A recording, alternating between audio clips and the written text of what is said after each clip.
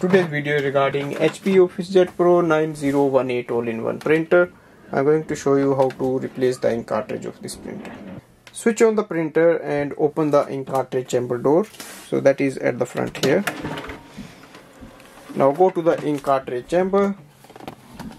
You will see the ink cartridges are moving and they come into the middle. And to take them out simply press it here and it will come out. So just do it for all four ink cartridges. So it has three color ink cartridges and one black ink cartridge. And to install the new ink cartridge simply place here.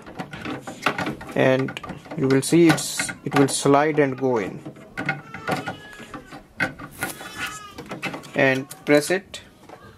So make sure the ring like structure stays out. And you will see HP logo on the upside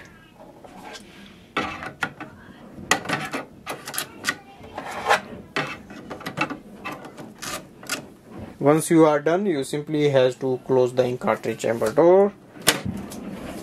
So this way we can replace the ink cartridges and if you have any problem uh, you will check the screen it will tell you. Otherwise just use it. Thanks for watching